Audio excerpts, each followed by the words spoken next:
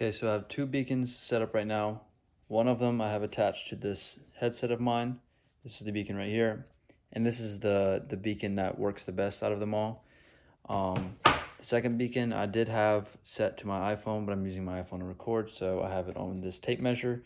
And this is a different type of beacon I tested out, which we're not going to use um, when we implement it, but I'm just using it for now to for the example. So I'm going to start running the program and it should say it's scanning now for both of those devices. It should say that it found both of them because they're both on and in the area. And now I'm going to take this headset with the beacon. I'm going to walk across my house to where it goes out of range after about 25, 30 feet. And then it should uh, not be able to find the beacon and it will send an alert.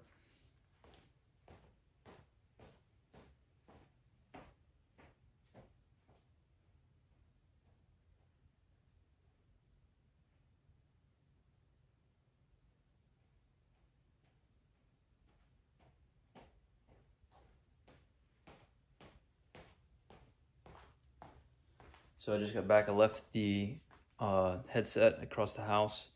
See, it didn't find it once, so it's going to scan for it again, and it didn't find it.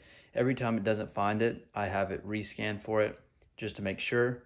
And I have it set right now that until it scans for it three times and doesn't find it, for, it won't do anything. And so after three times is when it's going to send an email. So it still didn't find device one yet. It's scanning for all the beacons again. It, it's now been twice since it hasn't found device one.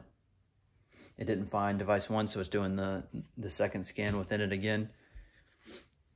And when it when it won't find it, it should I should get an email right here pop up in a second. There we go, and it says SteelSeries headset has been taken. So this is a example of my project in action, and we will uh, have multi, like 15 or 20 of these beacons on multiple devices and instead of just doing it for two beacons, it'll be doing it for all of those at the same time.